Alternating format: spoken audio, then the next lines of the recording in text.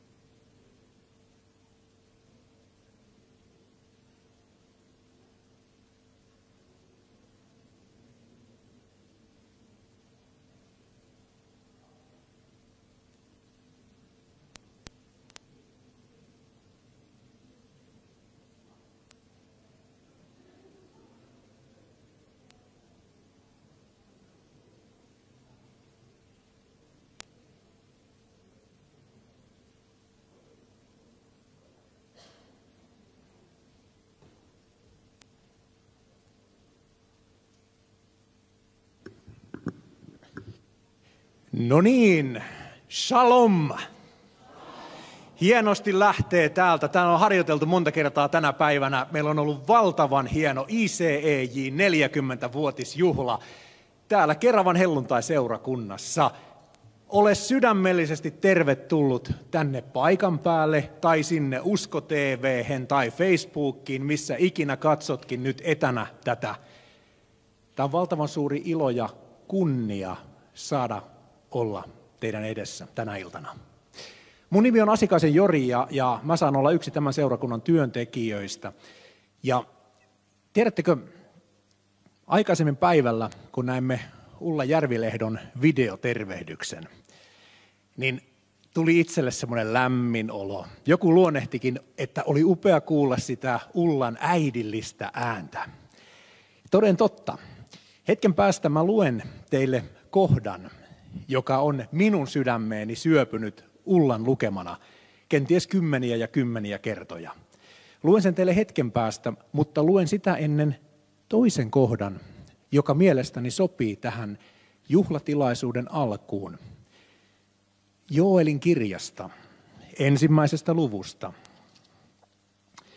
Kohta, joka oli Israelin kansalle profeetan aikana tullut suurena onnettomuutena. Me muistamme, kuinka valtavat heinäsirkkaparvet veivät kaiken sadon. Ja niinpä ensimmäisessä luvussa Joelin kirjaa, jakeesta kymmenen, valitetaan seuraavalla tavalla. Pelto on hävitetty, maa murehtii, sillä vilja on tuhottu, viini kuivunut, öljy ehtynyt. Peltomiehet ovat joutuneet häpeään vehnän ja ohran vuoksi, sillä pellon sato on mennyt. Viini rypäleet kuolivat, sirkat söivät ne. Oliiviöljy, kaikki oli mennyt. Ei ollut mitä enää puista oliveja poimia. Vilja oli syöty. Toisin sanoen elinkeino oli mennyt. Se, mihin ihmiset olivat laittaneet toivonsa ja mihin me ihmiset tänä päivänä edelleen laitamme usein toivomme. Elinkeinomme. Eikö ole tuttu tilanne? Jokin todella pieni vei yllättäen kaiken. Kansa murehti, mutta profeetan sana oli ei niinkään syyttävä. Hän ei luvannut luettelemaan niitä syntejä, vaan hän sanoi, mitä nyt seuraavaksi tulee tehdä. Kääntyä Jumalan puoleen. Meillä ihmisillä joskus murheet, vastoinkäymiset ajavat meitä pois Jumalan luota, vaikka niiden tarkoitus olisi nimenomaan saada meidät kääntymään kohden Jumalaa. Kääntymään kohden sitä, joka todella voi meitä auttaa.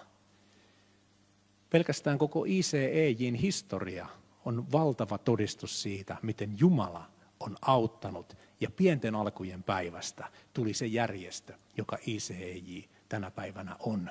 Ja Jumala auttaa kansakuntia, maita ja yksilöihmisiä. Ja nyt luen sen kohdan, jonka lupasin lukea teille. Saanko pyytää ihan nousemaan ylös Jumalan sanan kunniaksi? Ja nyt voitte kuvitella minun ääneni sijaan Ulla Järvilehdon äänen. Mutta minä luen sen nyt tällä omalla äänelläni. Jesaja 40. Lohduttakaa, lohduttakaa minun kansaani, sanoo teidän Jumalanne. Puhukaa lempeästi Jerusalemille ja julistakaa sille, että sen vaivan aika on päättynyt ja sen syntivelka on sovitettu. Se on saanut Herran kädestä kaksin verroin kaikista synneistään. Raivatkaa autiomaahan tie Herralle, tasoittakaa Arolle valtatie meidän Jumalallemme. Jokainen laakso korotettakoon, jokainen vuori ja kukkula alennettakoon. Koleikoista tulkoon tasankoja ja louhikoista tasaista maata. Herran kunnia ilmestyy. Kaikki liha voi myös kääntää koko ihmiskunta. Saa sen nähdä, sillä Herran suu on puhunut. Kiitos rakas taivaallinen Isä, että me saamme kiittää siitä, että olemme saaneet kokoontua tänään niin tänne fyysisesti kuin päätelaitteiden ääreen. Ja me saamme siunata sinun kansaasi Israelia, sinun rakasta kansaasi, juutalaista kansaa, josta pelastus tuli, Jeesus Kristus tuli. josta me olemme päässeet osallisiksi. Me pyydämme, Isä, että sinä siunaat tämän iltatilaisuuden. Siunaat jokaista, joka on täällä tänä päivän aikana ollut, tällä hetkellä on, tai katsonut tai katsoo tätä päätelaitteeltaan, mistä ikinä se tuleekaan sinne omaan taskuun. Jeesus Kristus, me pyydämme, että sä siunaat seuraavan 40 vuotta ICEJin ajassa. Kiitos näistä kuluneista 40 vuodesta, Isä. Ja mä pyydän, siunaa jokaista tämän illan puhujaa. Siunaa jokaista tämän illan muusikkoa. Siunaa jokaista, joka tässä paikan päällä on, joko fyysisesti tai virtuaalisesti. Ja Isä, kiitos, että sinun pojassasi, Jeesuksessa Kristuksessa, Jeshua Hamashiahissa, meillä on pelastuksen toivo. Kiitos, että meidän nimemme on kirjoitettu sinun elämänkirjaasi. Ja tästä ilosta salli meidän kertoa tälle maailmalle, joka ympärillä suree kaikkea sitä, mikä on menetetty. Anna meidän olla se sinun valosi, joka huutaa, Kristus on tulossa. Tasoittakaa tie. Ota hänet vastaan. Kiitos taivaallinen Isä sinun hyvyydestäsi. Jeesuksen nimessä. Amen. Istukaa, olkaa hyvä. Ja nyt potkaistaan tilaisuus käyntiin. Sydämellisesti tervetuloa kaikille myös Keravan helluntaa seurakunnan puolesta. Ja onnea ICEJ.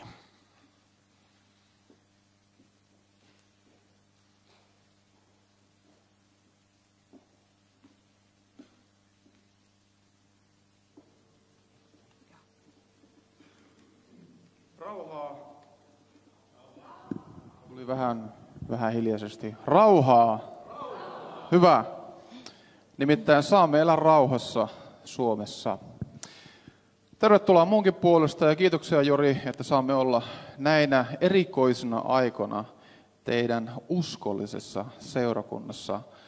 Ja siitä kiitoksena haluamme myös siunata teitä, teidän koko johtotiimiä, teidän vanhemmistoa, niin meiltä tulee kalenterit, ICI uudet upoudet kalenterit ja myös musiikkilevy, niin saatte rauhassa laskeskella päiviänne ja laittaa tärkeitä kalenterimerkintöjä sinne.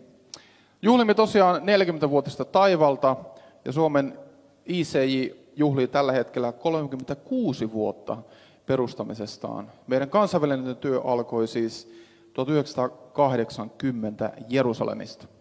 Tähän liittyy monia ihmisiä sekä ympäri maailmaa, totta kai sieltä Jerusalemista tämä työ lähti liikenteeseen, ja myöskin täällä Suomessa. Ja yksi näistä henkilöistä tällä hetkellä meidän työssämme on tunnettu pippurinen ja iloinen Tuija Valtanen, joka on meidän julistustyöntekijä. Hän on siis Tuija. Kiitos. Minäkin haluan omalta puoleltani kiittää kaikkia teitä työmme ystäviä myös netin äärellä. Ilman uskovia, ilman seurakuntia me emme olisi tässä. Me oikein hyvin tiedostamme, että tämä on yhteistä työtä. Ja me niin siunaamme teitä, että mahdollistatte näin paljon. Ja nyt vielä tällaisessa ajassa olette olleet lisää mahdollistamassa ja myös Exodus-työssä.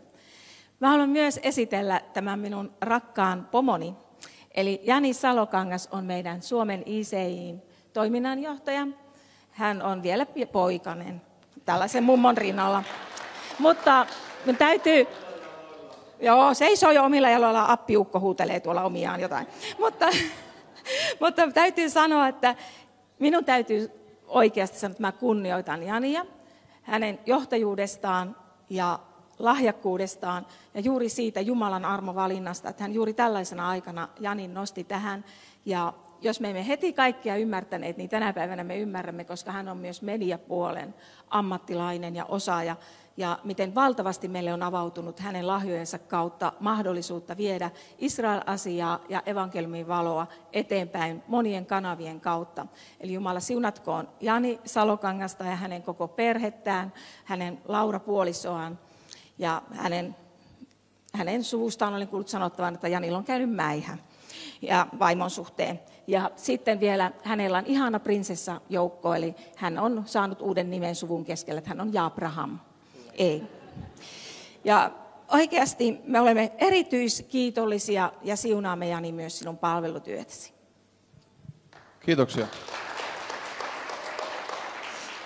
Haluan tässä mainita tähän alkuun heti, että itse seison muiden ihmisten työn siunosten olkapäillä. Kiitoksia Tapani Sopaselle, joka on meidän ICI-hallituksen puheenjohtaja. John Remekselle, joka on meidän hallituksessa, kaikille muillekin hallituksen jäsenille, ketkä varmasti katsovat tällä hetkellä netin välityksellä, ketkä eivät päässeet mukaan. Kiitoksia meidän työntekijöille, kiitoksia Tuija, Sarita, Annika, Erja. Kaikille ilman teitä tätä hommaa ei tehtäisi. Haluan myös muistaa meidän edellisiä toiminnanjohtajia, perustaja, emerituspuheenjohtaja Ulla Järvilehtoa. Ulla, jos sä katot, olet rakas meille. Juha Ketolaa, joka toimi hänen jälkeensä ja toimi myös meidän kansainvälisenä johtajana Jerusalemissa. Myös Kari O. Niemiä, joka oli ennen minua. Ja toivottavasti itse pystyn tuomaan uutta tähän meidän työlle tässä ajassa, missä olemme nyt tällä hetkellä. Pidemmittä puhetta lähdetään käyntiin tässä meidän juhlaohjelmassamme ja meillä on ensimmäisenä videotervehdys meidän Israelin Suomen suurlähettiläältä Hagit Ben Jakobilta, joka itse on juuri astunut tehtävänsä täällä Suomessa. Ja Tuija, mitä meillä on sen jälkeen? Sen jälkeen me haluamme oikein kunnioittaa meidän Jumalaa, Israelin pyhää, kiittämällä tänään erityisellä tavalla näistä kahdesta maasta, joilla on tietyllä tavalla sama historia, että ilman Jumalaa meitä ei olisi. Ei olisi Israelia eikä Suomea. Me haluamme kiittää tästä Jumalan armosta ja siunauksesta ja tämän tervehdyksen jälkeen me nousemme kunnioituksesta ylös ja laulamme Hatikvan, Israelin kansallislaulun ja sen jälkeen meidän Suomen kansallislaulun. Ja näiden kansallislaulun jälkeen tuli vielä yksi video, jossa näytetään, miten uskollinen Jumala on ollut 40 vuotta ICIin työllä.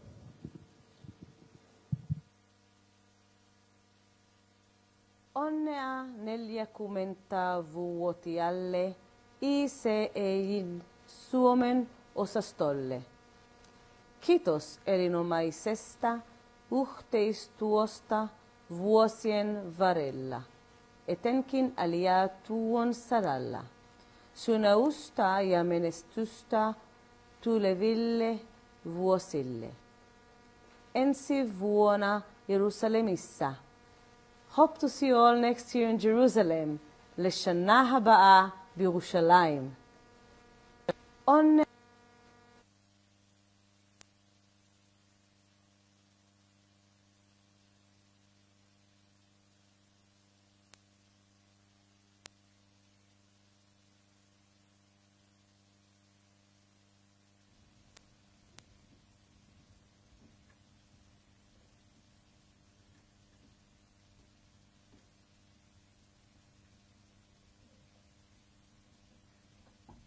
Nouskaamme yhdessä. Hatikva ensin ja sitten maamme laulu.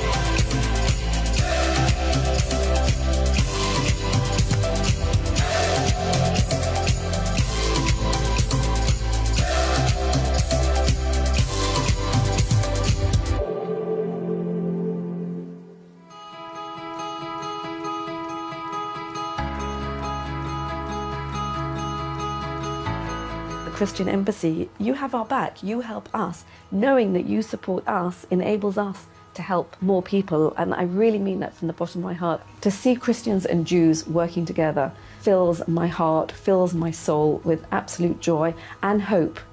And for me, this is a miracle.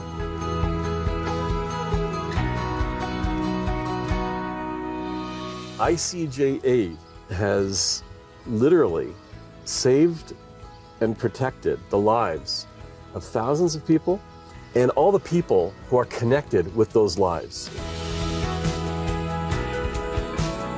וכל פעם ליבי מתרחב מאושר.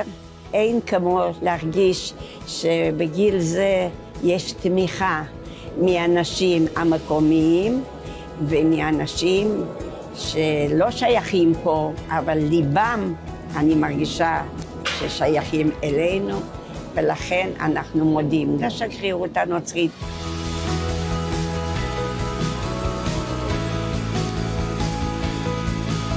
I'm very grateful to the ICEJ and to uh, all the Christians out there who love Israel, who pray for this aliyah, and who help support this aliyah.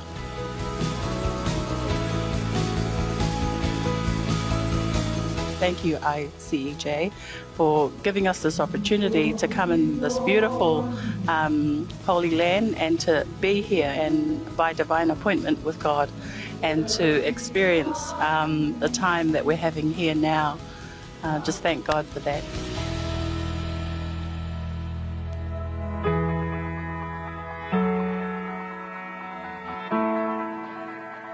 Those amazing testimonies that you just heard, imagine in 1980, 40 years ago, this was just 35 years after the closing of the gates of Auschwitz, Jewish Christian relations here in Israel were virtually non existent. And in that year, 1980, a group of pioneers, Christian pioneers, established the International Christian Embassy here in Jerusalem.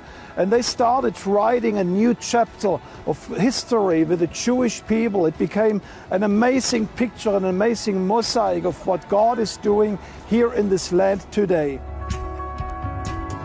40 years where God indeed opened historic doors for the Christian embassy, 40 years of God's faithfulness to our ministry. And I know many of you have been part of what God was doing in those 40 years here in the land of Israel.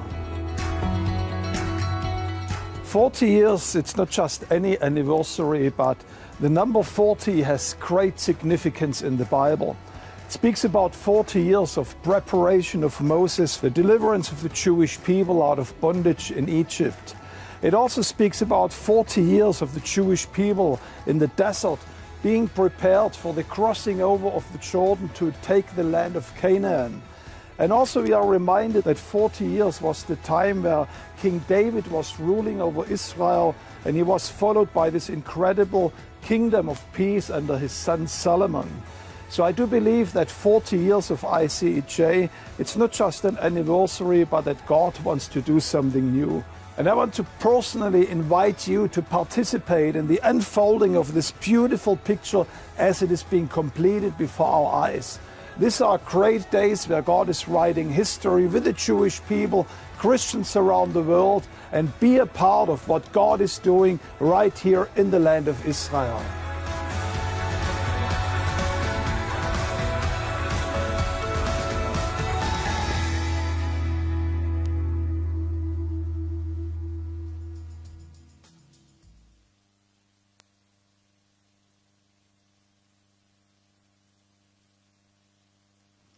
Seuraavaksi saamme kutsua David Vanderwaldin tänne eteen. Hän tulee käyttämään puheenvuoron ja Jani Salikangas tulkkaa häntä. David on palvellut tuolla meidän ISEin päätoimistolla lähes kaksi vuosikymmentä. Hän on lähtöisin, syntyisin tuolta Etelä-Afrikasta ja on asunut myös vuosia perheensä kanssa Israelissa. Hänellä on vaimoja, teillä on lapsia ja nyt te asutte täällä Suomessa. Tervetuloa David tuomaan meille sinun tervehdyksesi.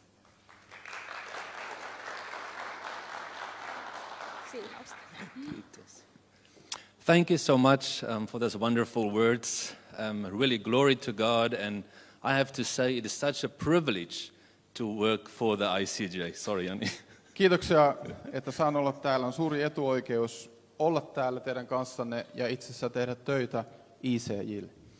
And thank you so much for celebrating together with us today the 40th years of the faithfulness of God to ICJ. Ja kiitos siitä, että olette täällä juhlimassa Jumalan uskollisuutta 40 vuotta uskollisena ICJin työllä. And also on behalf of Dr. Jürgen Bühler, our ICJ president in Jerusalem, he also is sending his greetings and would have loved to be here to represent the ICJ. And he says also thank you very much.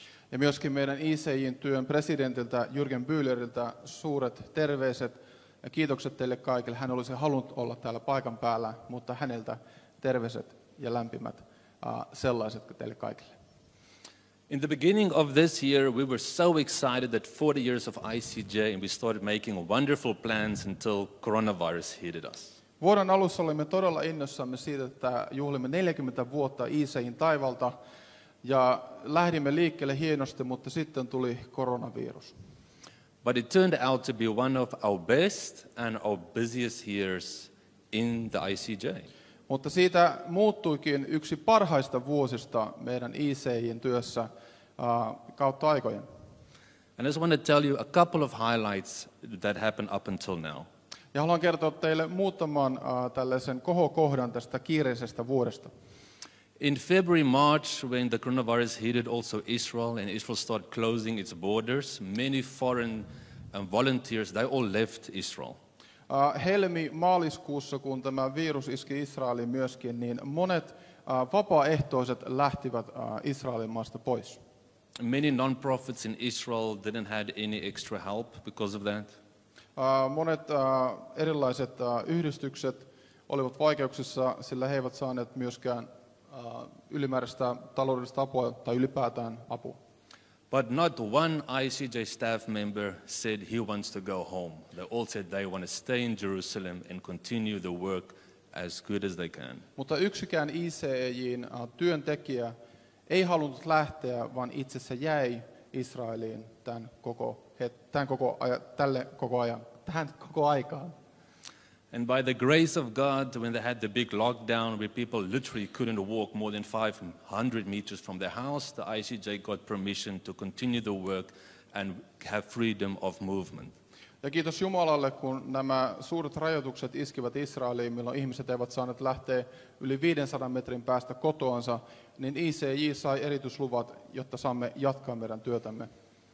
And this gave us the, opposition, the position to um, need many needs in Israel. We've been able to help um, provide meals um, and food baskets and food coupons for over 45,000 people. Ja tämä mahdollisti meille sen, että tämän näiden rajoitusten aikana niin me saamme toimia ja olemme tänä aikana antaneet ruoka-avustuksia, monenlaisia eri avustuksia, to 45? 45 000 ihmiselle. So we really thank our staff that they were committed to the ICJ just as many of you are that are supporting us. Ja suuret kiitokset meidän työntekijöille siellä Jerusalemissa ja totta kai teillekin suuret kiitokset, koska tuette meidän työtä ja mahdollistatte sitä. Another highlight was that we could continue giving 19 bomb shelters to the south to protect the citizens from rocket attacks. Yksi kohokohdista myöskin oli se, että saimme olla luovuttamassa 19 pommi suojaa Etelä-Israelissa niille alueille, mitkä kärsivät uh, terroristien tulesta. We continue to giving fire equipment to fight fires for 120 firefighters. Olemme antaneet myös uh, tällaisia palosammutusvälineitä palomiehille siellä, mitkä taistelevat näitä paloja vastaan. And the list is much longer. Ja lista on hyvin paljon pitempi. But let me continue to what's really on the hearts of the Finnish people, and that's Aliyah. Mutta haluan jatkaa siitä, mikä on suomalaisten sydämessä todellakin, ja se on meidän aliatyö. And this has been really another miracle that we saw this year was Aliyah. The ICJ was able to help 1,500 Jewish people to make Aliyah this year. Ja tämä on ollut myös yksi ihme, nimittäin ICI on voinut olla tämän tilanteen keskellä tuomassa 1500 juutalaista takaisin Israeliin. Amen. It's time to clap. yeah. Amen. This really is a miracle because we had literally to work from week to week just to know who will be able to come. They also had to go in quarantine, the new immigrants, when they came. The price for bringing them home was much, much higher, but God provided on a weekly basis. Ja tämä on todellakin ihmis, nimittäin olemme joutuneet tekemään viikkoja viikkoja töitä sen eteen jokaisen tulijan kohdalla, että he pääsevät Israeliin ja myöskin äh, he ovat joutuneet karanteeniin, mutta Jumala on auttanut meidät tässä työssä. And the Finnish people played a big role here, especially Yanni in the ICJ Finnish team, with Howard in Russia and the Jewish agency, made it all happen, and of course your support from Finland. Ja Suomen työn tukijat ovat olleet erittäin tärkeässä roolissa myöskin Suomen IC-osasto ja Jani Salokangas. Ja kiitoksia myös meidän Venäjän työn koordinaattorille Howard Flowerille. He ovat kaikki olleet mahdollistamassa tätä työtä. And then, of course, our other biggest event in Israel is the Feast of Tabernacles. Ja totta kai myös meidän suurin uh, vuosittainen tapahtuma on Lehtimajan juhlat. We were ready to celebrate 40 years of ICJ at the Feast of Tabernacles with expecting thousands of pilgrims to come up. Ja totta kai uh, odotimme, kun juhlimme 40-vuotista taivalta, niin tuhansia uh, ihmisiä tulevan juhlimaan meidän kanssamme Jerusalemiin. And for the first time in 40 years, it was just not possible for Christians to come. Ja ensimmäistä kertaa 40 vuoteen ei ollut mahdollista, että kristityt pääsevät Israeliin. And this is no small thing because Christians have always come up to Jerusalem for 40 years, even if there was war, there was intifada, there were no tourists. Israel could depend on the Christians to come up to Jerusalem for the Feast of Tabernacles. Ja tämä ei ole mikään pieni asia, nimittäin kristityt ovat olleet uskollisia sotien keskellä, intifadojen keskellä. He ovat aina nousseet Jerusalemiin. Ja nytten tämä oli poikkeuksellinen vuosi. But praise God, He really helped us, and another miracle happened that we could took the Feast of Tabernacles online to the nations. Ja toinen ihme tapahtui, koska pystyimme reagoimaan ja tuomaan lehtimaanjuhlat netin kautta kansoille. This had to happen very fast in two months to organize everything, and Yanni even helped. Thank you. Ja tämä tapahtui hyvin nopeassa aikataulussa, kahdessa kuukaudessa joudumme laittamaan kaikki asiat kasaan. Kiitos Janille myös avusta tässä.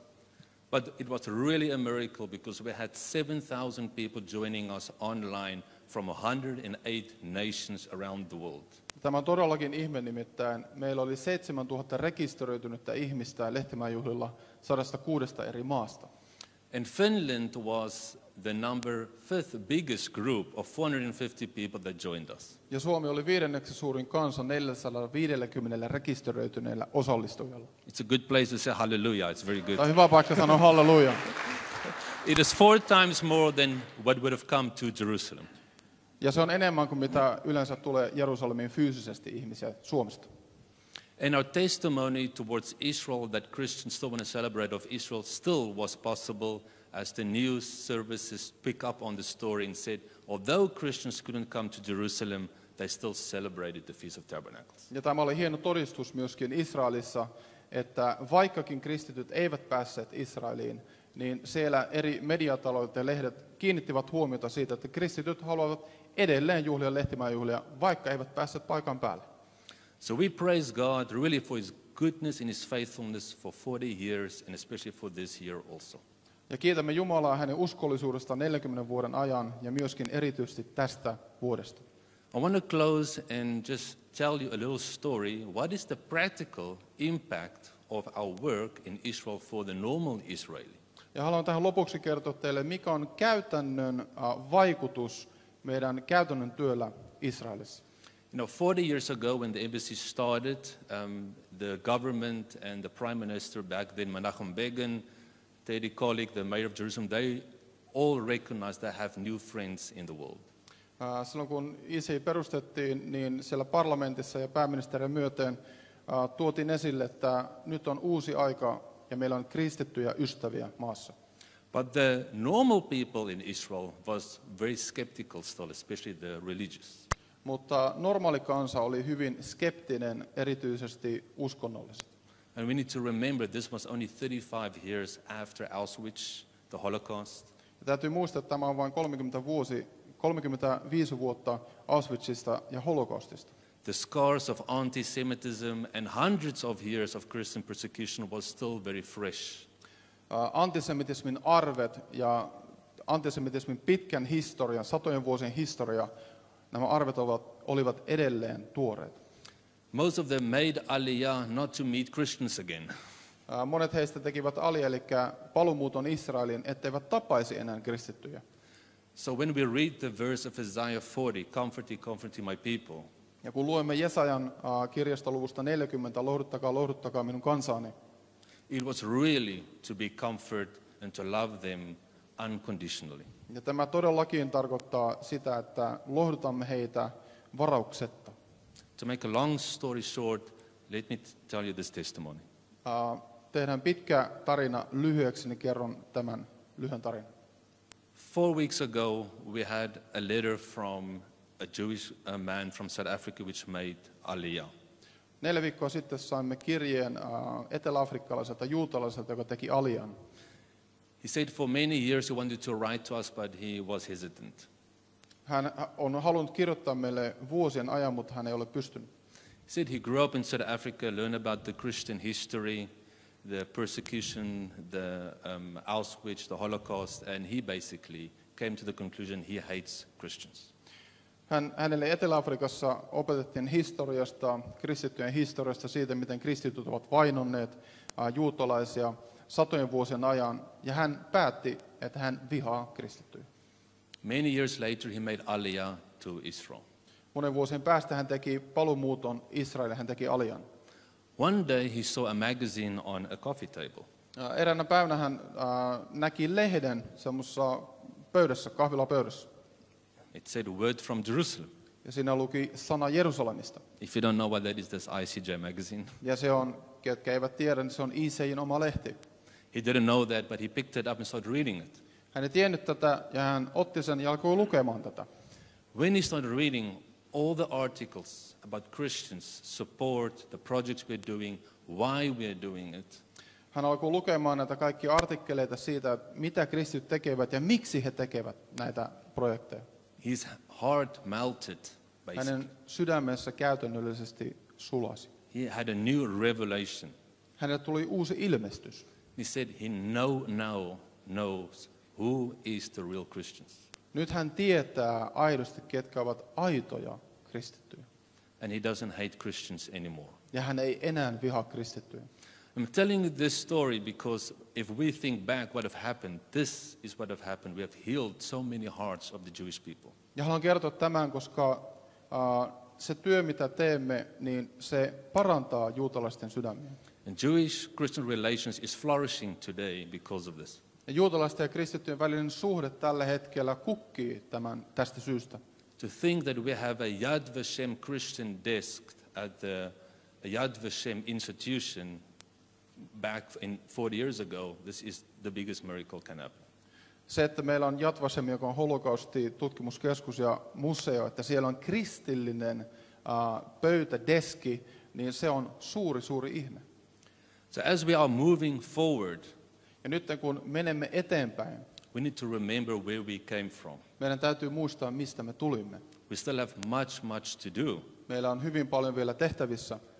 But if I can ask the Finnish people to pray, Ja haluan pyytää, että suomalaiset, että te rukoilette, and especially pray that the new generation will arise, että uusi sukupolvi nousisi. especially here in um, Europe, Erityisesti, in, in Europe, erityisesti täällä Euroopassa, of course Finland, totta kai Suomessa, where anti-Semitism is growing very fast. jossa antisemitismi kasvaa nopealla tahdilla. And this will be our biggest challenge in the next 40 years. Ja tämä tulee olemaan meidän yksi suurimpia haasteita seuraavan 40 vuoden aikana. At the ICJ, we are looking forward to the next 40 years. We believe our best years is still to come. Ja me katsomme äh, kiitollisesti ja innossamme seuraavaan 40 vuoteen, sillä paras on vielä edessä. And to have a nation like Finland behind ICJ that are so on fire for doing God's work, we know it's going to be good. Ja se, että meillä on tämmöinen kansa kuten Suomi, täyttä tulta, niin tiedämme, että tästä tulee hyvää. So thank you so much, all of Finland, all of those who are standing with us already for 40 years and celebrating 30 years of Aliyah work. Kiitoksia kaikille suomalaisille, kaikille työmme tukijoille, että olette tukeneet meitä 40 vuoden aikana. And our prayer from Jerusalem is that God will bless you, God will be with you, and God will keep you. And once again, thank you so much. Ja rukouksemme Jerusalemista, että Jumala olisi teidän kanssanne ja varjelisi teitä. Kiitoksia teille todella paljon. May God bless you. Amen. Jumala siunatkoon teitä.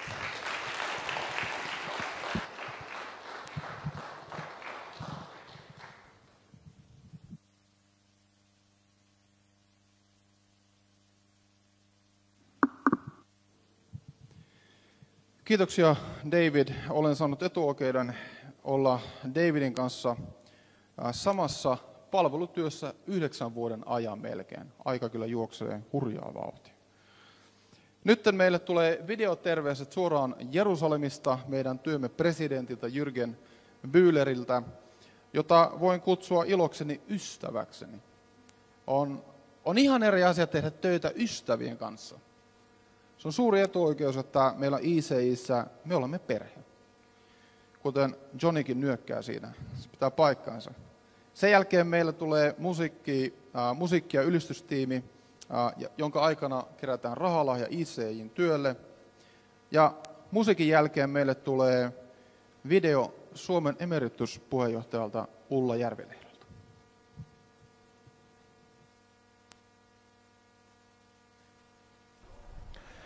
Dear friends of the ICJ in Finland, dear ICJ board of Finland, and most importantly also dear Yanis Salukangas, our national director uh, for ICJ Finland. It is such a great joy and privilege to greet you for this very special anniversary celebration in Finland.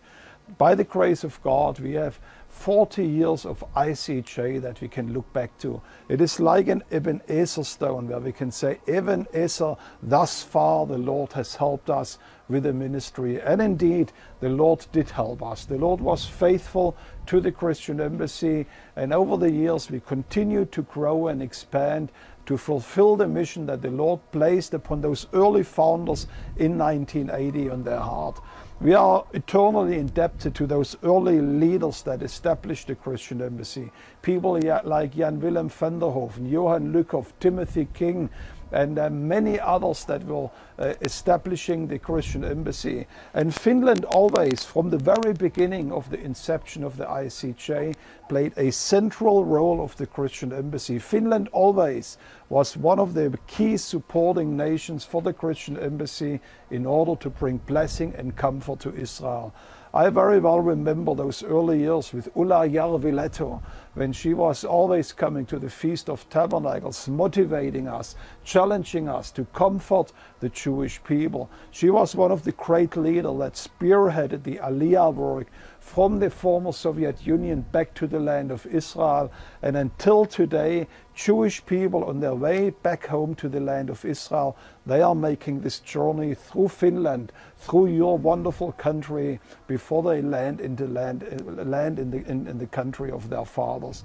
So I want to thank you first of all for this amazing support and faithfulness over 40 years, for standing with us, for helping us to fulfill this divine mandate to stand at the side of Israel and to comfort the Jewish people. But also in this very significant year of 2020, the year of the coronavirus, the Lord is faithful to us. Uh, this last Feast of Tabernacles, which just finished a few days ago, we could reach more people than ever before, joining us from around the world to celebrate the Feast of Tabernacles. And again in this year, without the support of the Finnish branch, in particular of Mr. Yanni Salokangas, with his incredible skills of videography, their media team in Finland, with the countless translators and uh, people that were helping at the help desk, we couldn't have done that Feast of Tabernacles. So here from Jerusalem, I really want to say from the bottom of my heart, thank you, thank you so much for your support. For both my wife Vesna and me, Finland almost became like a second home. We really love the Finnish people. We feel at home in your wonderful country because you love Jesus and you love the Jewish people. God bless you here from Jerusalem on this very special celebration in your wonderful country. God bless you. Amen. Tiedättekö, semmoisen tunteen, kun tietää, että itse ei ole voinut suunnitella näin hyvin. Seuraava laulu on Uusi päivä Suomelle. Ja uskon, että Jumala on alustava, niin alusta loppuun asti valmistanut tämän illan meille. Julistakaamme yhdessä Uusi päivä Suomelle.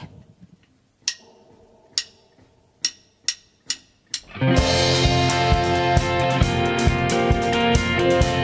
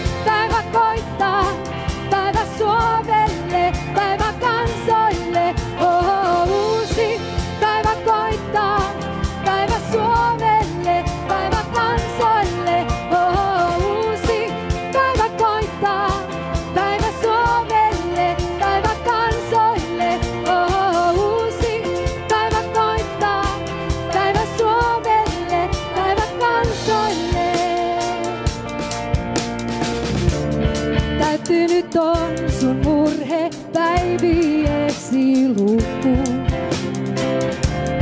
Lohdutan teitä, annan teille täyden lohdun.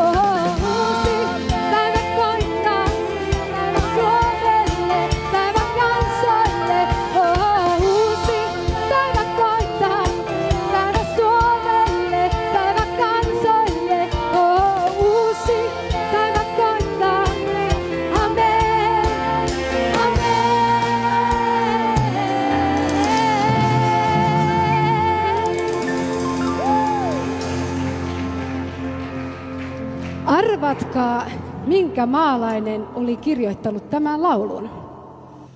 No, ruotsalainen. Hän oli saanut Suomen sydämeen, sydämelleen, Sakarias Fielander. Siunatkoon häntä. Seuraavaksi hebrealainen ylistyslaulu, mitä lauletaan King of Kingsin seurakunnassa muun muassa. Herra on aina hyvä. Ylistämme häntä aamun illoin. Herra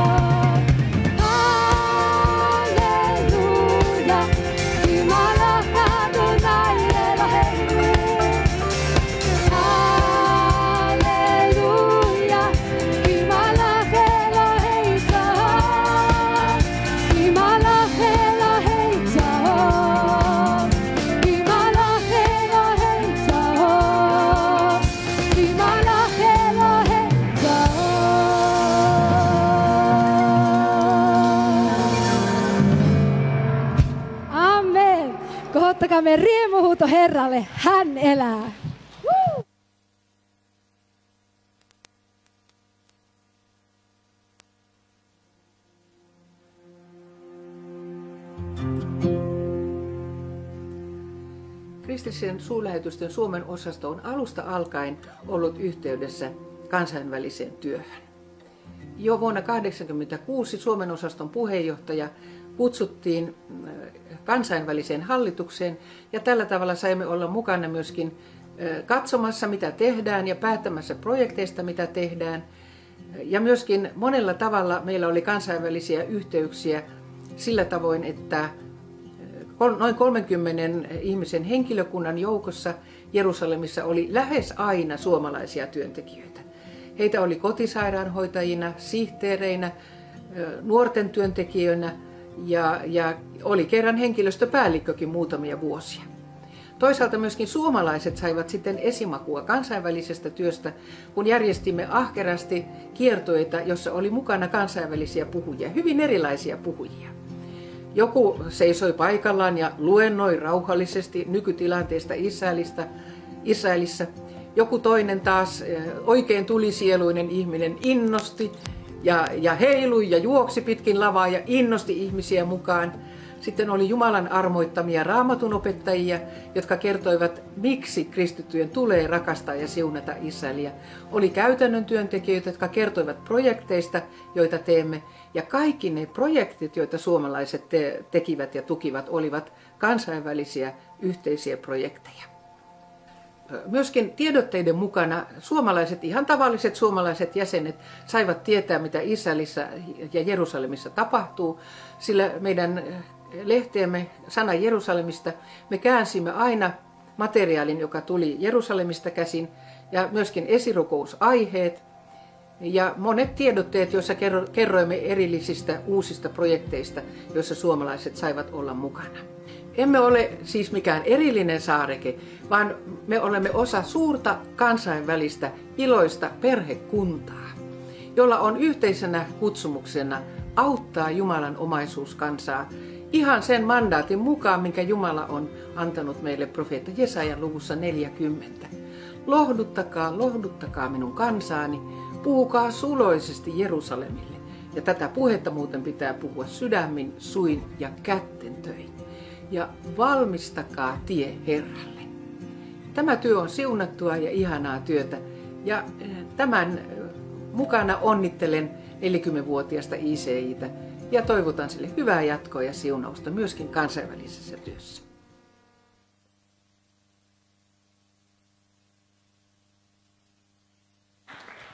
Rakas Ulla, on se kyllä astetta kovempi toi Ulla kyllä. Meillä oli hauskaa Ullan kanssa, kun me kuvattiin. Kyllä me naurettiin itsemme kipeäksi monista asioista. Ja Ulla Järvilehtohan on toiminut kansanedustajana myöskin. Hän on lääkäri. Ja on hienoa nähdä, että tämä kansanedustajan äh, silta nyt siirtyy myös seuraavan puhujan, mutta sanon, että seuraavan puhujan jälkeen tulee sellainen uniikki video ICJ 40-vuotisesta historiasta, jossa olen kaivannut satoja kuvia meidän arkistoista. Siellä on paljon tuttuja kasvoja varmaankin, Ulla Järvilehto hieman nuorempana, ja saattaa näkyä myös muutamia, muutamia muitakin tuttuja kasvoja. Mutta mulla on ilo, että meidän seuraava puhuja on Päivi Räsänen. Nimittäin Päivi Räsänen hän on meidän kristillisdemokraattien kansanedustaja jo vuodesta 1995. Eduskunnan toimielin jäsenyydet ja tehtävien määrä on, on pitkä. Itse asiassa hengestyin, kun katselin sitä. Päivi Räsänenhän myös toimi sisäministerinä vuodesta 2011 vuoteen 2015. Hän on aviovaimo, hän on äiti, hän on Jumalan rohkea opetuslapsi, joka on valona ja suolana Arkadian mäellä ja itse asiassa varmaan tällä hetkellä valona koko Suomen kansalle. Joten Päivi Räsänen on etuoikeus, että olet täällä meidän kanssamme.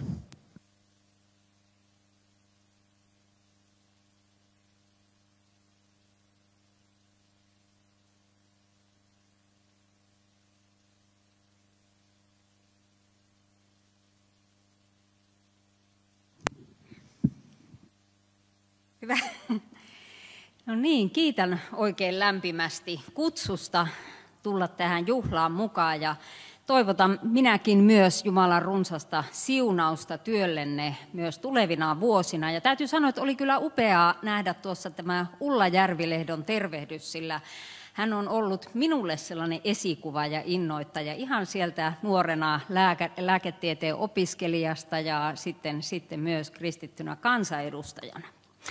Me elämme tällä hetkellä merkillistä aikaa. Muutama viikko sitten tyttäreni kertoi ehdottaneensa kaksivuotiaalle pojalleen, että lähdetäänpä käymään Stockmannin hulluilla päivillä. Niin lapsenlapsi mietti hetken ja kysyi, että, niin, että kumpi mummola se olikaan. Hulluja päiviä vietetään kauppaliikkeen ulkopuolellakin. Mennyt vuosi on ollut yllätyksellinen, sen käänteitä en olisi osannut kuvitellakaan. Viime vuoden kesällä käynnistyi prosessi, jonka seurauksena olen tällä hetkellä neljästä raamatun opetuksiin kytkeytyvästä rikoksesta epäilty ja jo kolmessa poliisikuulustelussa istunut ja edelleen odottelen tässä lähiviikkoina yhtä kuulustelua ja sen jälkeen syyteharkinta. Ja edessä on todennäköisesti jopa useita vuosia kestävä oikeudenkäyntien sarja, jossa syytetään kiihottamisrikoksesta, josta voisi saada sakkoa tai enintään kaksi vuotta vankeutta. Mutta rangaistuksiakin huolestuttavampaa on, jos tämä johtaisi joidenkin kirjoitusten julistamiseen kielletyiksi. Ja ongelmana on, että jo pelkkä prosessi ilman mitään tuomiota on omiaan aiheuttamaan itsesensuuria raamattuun uskovien kristittyjen keskuudessa. Meille kaikille historiallisen poikkeustilan on aiheuttanut tämä globaali koronapandemia, jonka vaikutukset ulottuvat arkipäivään ja näkyvät tässäkin salissa tällä hetkellä. Kukaan ei ole omalle kohdalleen valinnut sitä aikaa, jota elämme tässä maailmassa. Olen välillä pohtinut, että olisipa ollut hienoa äh, elää vaikka 2000 vuotta sitten Israelissa kuunnelle Jeesuksen vuorisaarnaa, tai sitten joskus Suomessa suurten herätysten aikana. Kenenkään kohdalla tämä ajankohta, tämä syksy, 2020 ei ole sattumaa. Kuningatar Esteriä rohkaistiin avaamaan suunsa ja toimimaan Jumalan kansan juutalaisten puolesta kysymyksellä, kuka tietää, etkö juuri tällaista aikaa varten ole päässyt kuninkaalliseen arvoon? Tämän saman kysymyksen voimme jokainen esittää itsellemme, onpa sitten asemamme mikä tahansa. Juuri tällaista aikaa, tätä aikaa varten sinä olet syntynyt tähän maailmaan, tähän hetkeen, rakastamaan lähimmäisiäsi, toimimaan Jumalan kansan parhaaksi, pitämään esillä evankeliumin sanoma ja rakentamaan seurakuntaa. Ja juuri tällaista aikaa varten tarvitaan tänään juhlittavaa Jumalan omaisuuskansan palvelujärjestöä, aivan kuten Esteriä kriittisenä hetkenä aikoinaan. Elin omaa lapsuuttani aikana Konnunsuon vankilan yhteisössä, jolloin kaikki kylän lapset kävivät pyhäkoulussa kotitaustasta riippumatta. Koulupäivät aloitettiin aamuhartaudella, virrellä ja rukouksella. Kun luokkakaverini sairastui leukemiaan, opettaja johdatti koko luokan rukoilemaan hänen puolestaan. Äitini on kertonut, että viisivuotiaana pikkutyttönä olin pysäyttänyt vastaan pyöräilevän vankilan johtajan esittäen kysymyksen, rakastatko sinä Jeesusta? Tilanteesta häkeltynyt johtaja oli, otti yhteyden äitiini ja kysyi, että pitäisikö tyttö ottaa pois pyhäkoulusta, ettei mene pää sekaisin, mutta äiti ei säikähtänyt, vaan antoi pyhäkoulun jatkua. En itse tätä häiriköintiäni muista, mutta muistan hyvin vieläkin ne vaikuttavat pyhäkouluhetket, joita säännöllisesti sunnuntaisin piti vuorotolleen kaksi miestä, helluntailainen sikalanhoitaja ja lestaadiolainen vangivartija. He saattoivat tulla sieltä vankilasta ihan kesken työpäivän pitämään meille lapsille saappaat jalassa sikalahajuisena sitä pyhäkoulua. Ja muistan, että jo ihan pienenä tyttönä, sellaisena viisivuotisena, rukoilin näiden opettajien johdolla, että Jeesus tulisi sydämeeni, antaisi syntini anteeksi, ottaisi minut omaksen. Ja muistan sen valtavan kiitollisuuden ja ylistyksen, mikä mulla oli vielä illallakin nukkumaan mennessä tuon pyhäkouluhetken jälkeen. Ja hän kuuli rukoukset ja hän on ollut näiden vuosikymmenien läpi uskollinen. Kristillinen kasvatus oli 60-luvun konnunsuolla lasten arjessa ja pyhässä läsnä, mutta tällä hetkellä tilanne on toinen. Pyhäkoulut ovat käytännössä miltei kuolleet. Hiljattain julkaistussa kyselyssä alle 35-vuotiaista naisista vain 4 prosenttia vastasi myönteisesti kysymykseen henkilökohtaisesta uskosta Jeesukseen. Miehiä oli noin kaksinkertainen määrä siihen. Tai jos joku olisi vaikkapa 25 vuotta sitten, kun aloitin kansanedustajan työni, kysynyt, että montako sukupuolta ihmisellä on, niin aika tyhmänä olisi kysyjää pidetty. Me olemme siirtyneet aikaan, jossa kristinuskon ja kristillisten arvojenkin tuntemus on heikkoa. Jos kadunmieheltä kysytään, mikä on kristinuskon keskeinen sisältö, niin todennäköinen vastaus on lähimmäisen rakkaus. Se on kyllä Jeesuksen keskeinen opetus, rakkauden kaksoiskäsky, mutta se on lakia, joka tunnistetaan muissakin uskonnoissa ja aatteissa, mutta evankeliumin ydinsanoma Jeesuksen uhrikuolemasta on monelle vieras ja siihen liittyvä lain ja evankeliumin sanoma käsittämätön. Tulkaa, nouskaamme Herran vuorelle, Jaakobin Jumalan temppeliin, että hän opettaisi meille teitään – ja me vaeltaisimme hänen polkujaan, sillä Sionista lähtee laki, Jerusalemista Herran sana. Jesaja 2 ja jae 3. Eli Jerusalem on antanut meille lain, kymmenen käskyn etiikan, juutalaiskristillisen ihmiskäsityksen, mutta Jerusalem on myös lahjoittanut meille evankeliumin. Ihmiskunnan historian merkittävin rauhan sopimus on laadittu tässä rauhan kaupungissa Jerusalemissa Kolkatan keskimmäisellä ristillä, jossa Jumala teki sovinnon ihmisen kanssa ja ihmiskunnan kanssa. Koko raamattu on Jumalan sanaa, Jumalan erityinen ilmoitus ihmiselle ja sen ymmärtämisen avain on se, että se sisältää Jumalan lakia, ja evankeliumia, Jumalan käskyjä, mutta samalla armon ja iankaikkisen elämän ihania lupauksia. Ne kuuluvat yhteen, mutta niitä ei saa sekoittaa keskenään. Ja Raamattu on käsittämätön ja jopa ahdistava kirja, jos tätä ei ymmärrä. Lain ja evankeliumin erottaminen on myös avain siihen, että voin luottaa raamattuun Jumalan sanana. Silloin kumpaakaan ei tarvitse ikään kuin vesittää tai selittää pois. Hyvät ystävät, olemme suuren yhteisen tehtävän edessä. Jumala näyttää usein valitsevan omaan käyttöönsä niitä, jotka itse kokevat olevansa sopimattomia tai jopa haluttomia tehtävään, usein pikemmin arkoja ja heikkoja kuin rohkeita ja vahvoja. Mooses paimensi 40 vuotta appensa lampaita, eikä hän ollut mielestä ollenkaan sopiva kansanjohtajaksi heikkojen puhetaitojensa vuoksi. Ja hän pyysi Jumalalta, että valitse kuka tahansa muu. David oli teini poika, joka oli lähetetty eväskuskiksi taisteluun varustautuneille isoveljilleen sotarintamaan, mutta juuri hänet valittiin voittamaan Jumalaa pilkannut koljat tai profeetta Joona.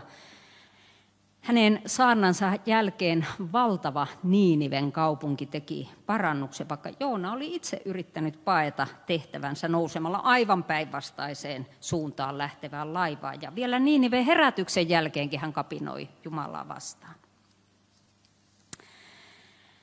Raamatussa on merkillisiä kuvauksia siitä, miten Jumala jo äidin kohdussa on valinnut ihmisen, ihmisen ollessa vielä aivan pieni ja avuton hänet tehtävänsä Jumalan valtakunnassa. Ja profeetta Jeremia kertoi näin, että minulle tuli tämä Herran sana jo ennen kuin minä valmistin sinut äidin kohdussa. Minä sinut tunsin ja ennen kuin sinä äidistä synnyit, minä sinut pyhitin, minä asetin sinut kansojen profeetaksi. Mutta minä sanoin, voi Herra, Herra, katso, en minä kykene puhumaan, sillä minä olen nuori. Niin Herra sanoi minulle, älä sano, minä olen nuori, vaan mene, kun ne ikinä minä sinut lähetä ja puhu kaikki, mitä minä käsken sinun puhua. Meistä kaikista ei tule Jeremian kaltaisia profeettoja, mutta meidät kaikki on kutsuttu tähän suureen yhteiseen tehtävään. Ja sinä et ole sattumalta tässä tapahtumassa, tässä illassa, tämän haasteen edessä. Jumala on rakentanut sinut omaksi kuvakseen ja jo ennen syntymääsi valinnut sinut omaan hyvään suunnitelmansa. Hän tietää sinun puutteesi ja heikkoutesi, sen, että olet osa syntiin langennutta ihmiskuntaa, ja jo ennen kuin synnyit, hän valmisti pelastuksen antamalla oman rakkaan poikansa kuolemaan ristillä syntiesi puolesta, että saat uskoa kaikki syntisi anteeksi Jeesuksen sovitustyön tähden. Ja hän on antanut sinulle omat erityiset lahjasi, myös pyhän hengen armolahjat. Ja näiden kautta hän haluaa sinua käyttää tässä maailmassa ja tässä ajassa. Lopuksi olen kiitollinen siitä, että sain vuonna 2014 huhtikuussa sisäministerinä toimiessani tilaisuuden vierailla Israelissa ja siinä yhteydessä myös tavata johtajat Jürgen Bühlerin ja Juha Ketosen siellä ICJin toimistossa Jerusalemissa.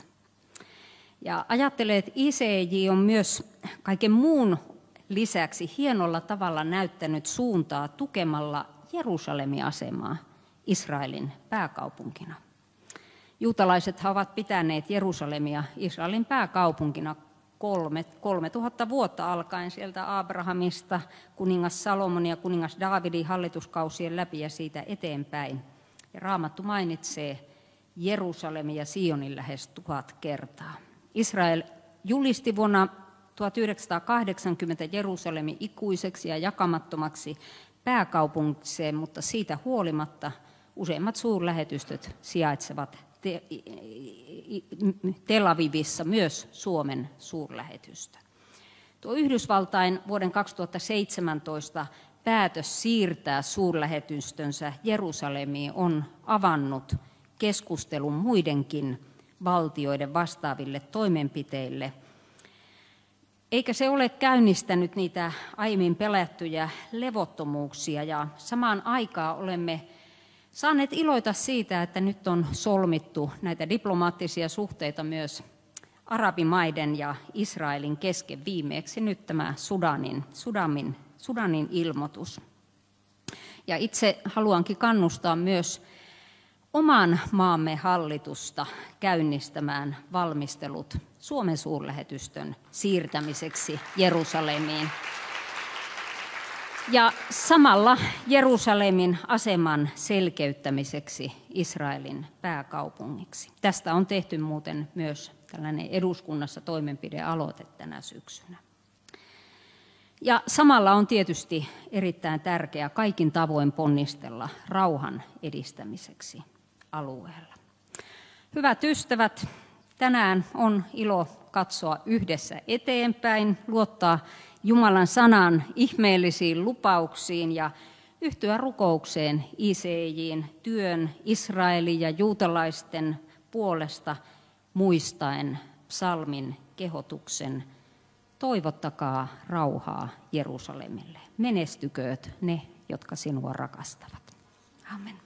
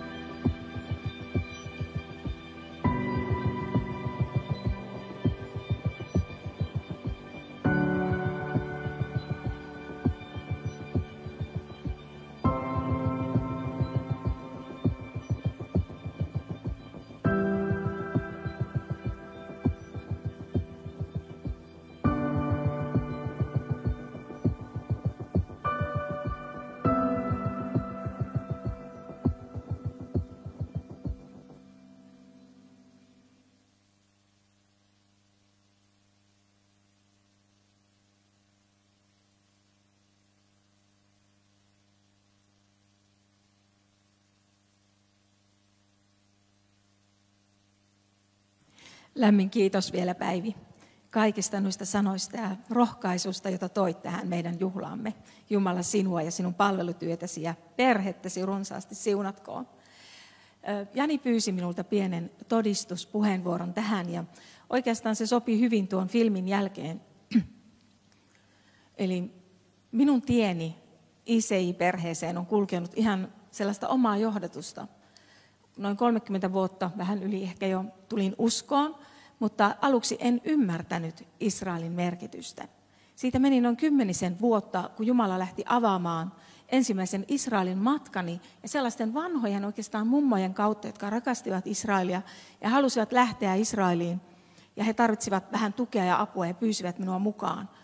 Ja tuo matka oli niin merkittävä, että se muutti minun sydämeni, ajatukseni ja jotenkin mä sain kokea sen Jeesuksen maan tuoksut, värit, elämän ja myös sen, mitä hän tekee siellä tänä päivänä. Ja siitä lähti semmoinen erikoinen prosessi liikkeelle. Mutta sitä ennen mä olin ollut vielä nuorena tuolla isossa kirjassa Raamattokoulussa. Ja mä olin ystäväjeni luona yötä. Ja se on ainut kerta elämässäni, kun mä oon kuullut mun korvilla Jumalan äänen näillä luonnollisilla korvilla. Ja mä kuulin, että minulle kerrottiin, jos sinä suostut olemaan minun kulkija ruusuni, niin minä annan sinun osaksi onnellisen maan. Ja mä en ymmärtänyt. Mä en ymmärtänyt, mikä voi olla Jumalan silmissä onnellinen maa. Ennen kuin vaihe vaiheelta Jumalan henki lähti avaamaan asioita. Miksi minä kerron tätä? Mä oon nyt tämmöinen mummo, seitsemän lapsen iso äiti. Ja mä kerron sen takia, että miten pienistä alusta pitää olla uskollinen, miten pitää lähteä liikkeelle. Ja mä jotenkin koen katsellessani tuota videota, kuunnellessa näitä minullekin sankareita, jotka ovat tehneet jo niin paljon, niin mulle tulee semmoinen olo, että ihan sinä tavallinen nuori, sinä tavallinen, joka et ole vielä tullut sisään, lähde mukaan. Ja mä sanon oikein niin kuin juutalainen Jeesus, tule, seuraa minua.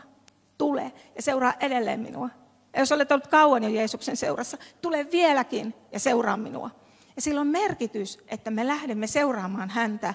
Ja hän haluaa rikastuttaa meidän elämämme ja tehdä meidän pienestä elämästä, meidän eväistä, jotain sellaista, mikä on pientä ihmettä, suurta ihmettä meidän jokaisen elämässä.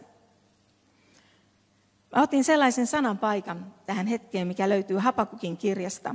Minä seison vartiopaikallani, asetun torniin ja tähystän nähdäkseni. Mitä hän minulle puhuu? Mitä hän vastaa valitukseeni? Mitä hän vastaa kysymyksiini? Mitä hän vastaaetsimiseeni? Minäkin haluan nousta vartiopaikalleni ja minä kutsun sinua mukaan tuolle paikalle. Ja kun me noustaan tuonne vartiopaikalle, me näemme paljon, mitä Jumala on tehnyt Israelin kansan historiassa. Ja me näemme, mitä hän on tehnyt pienten ihmisten elämässä, jotka ovat ottaneet vastaan tämän kutsun siunata Israelia sillä tavalla, mikä Jumala sinulle avaa tai minulle avaa.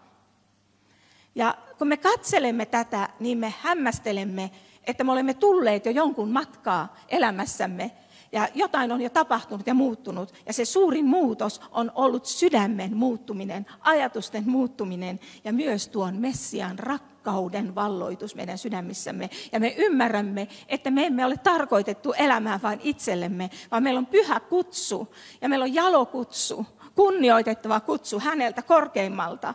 Ja hän haluaa, että me saamme olla mukana jossain siinä, mitä hän tekee meidän aikanamme. Sain tutustua jo ennen kuin olin ICL töissä, niin lehtimäjuhlien kautta tähän työhön. Monet asiat alkoivat avautumaan arjen työn kautta. Katselin ihmeissäni sitä työtä, mitä sosiaalinen osasto tekee Israelissa auttaen holokaustvanhuksia. Sain itsekin myöhemmin viedä nuoria tapaamaan holokaustvanhuksia ja tuli sellainen niin kosketuspinta näille asioille, joka murtaa nuorten sydämiä ja saa heidän ajatuksensa muuttumaan. Yksi nuori sanoi, että oli pakko mennä pois itkemään vähäksi aikaa muualle, että mä en voinut olla enää siinä. Ja se rakkaus, millä nämä vanhukset kohtasivat meidän Suomen nuoria, ei sitä voi sanoiksi pukea. Sain olla mukana Jumalan seikkailussa Lindan kanssa kerran – ja Jumala avasi meille mahdollisuuden vaihe vaiheelta päästä mukaan ultraortodoksi kaupungin Immanuel lasten auttamistyöhön. Se oli erikoinen johdatus, hyvin erikoinen. Saimme olla mukana juhlilla, saimme olla mukana monissa tilanteissa näkemässä näitä palvelutyötä ja kuuntelemassa Jumalan miesten ja naisten ajankohtaista, profetaalista julistusta ja opetusta. Olla mukana kansakuntien yhteisissä rukoushetkissä. Ja tiedätkö, näissä hetkissä, kun me saamme astua kirkkauteen, Jumalan läsnäoloon, me muutumme. Me muutumme. Kiitos Jumalalle, että me muutumme. Lehtimäen juhlat ovat olleet hyvin merkittävä osa omaa hengellistä kasvuani. Merkittävä osa ymmärryksen avautumista syvemmällä ja syvemmällä tavalla. Ja nyt kun me vietämme tällaista kansainvälisen työn 40-vuotisjuhlaa, niin minulle henkilökohtaisesti on ollut hyvin merkittävää myös se, että olen saanut olla mukana myös meidän rukoustyössämme. Koska me olemme niin monta kertaa nähneet, että kun me saamme koskettaa meidän Jumalamme sydäntä, niin Jumalan oikean käden voima lähtee liikkeelle. Tänä vuonna mä kiitän johtajani Jani Salokangasta, että hän on myös rohkea uskomaan meille vastuita, koska jos me emme usko toisiimme ja anna vastuuta, niin me emme pääse myös kasvamaan. Ja sen takia mäkin haluan nyt uskoa ja kertoa sinulle tämän oman todistukseni, että sinäkin uskaltaisit uskoa ja lähteä liikkeelle. Ja kun me lähdemme liikkeelle, niin se mahdollistaa myös meidän kasvun ja myös sen, että sitä liikkuvaa autoa Jumala voi johdattaa, ei sitä, joka on parkissa. Ja tämä viimeinen kokemus vielä tähän pieneen todistukseeni oli tämä meidän kansainvälinen 24 kautta 7 rukoustapahtuma, jossa Suomen osasto oli neljä kertaa mukana. Ja nämä tilanteet, että sain olla mukana suomalaisten kanssa ja kansakunnat olivat siinä mukana, avasi valtavasti minun hengellisiä silmiä näkemään, että miten pieni ja vahva taimi on Israel keskiössä. Jos meidän uskomme on Kristuksessa ja me ymmärrämme Israelin merkityksen, niin se on sellainen taimi, joka on nyt noussut. Tämä 40 vuotta on vahvistanut Jumalan työn kristittyjen kautta yhteyteen juutalaiseen kansaan, sellaiseen mittakaavaan, jota ei voi enää pysäyttää.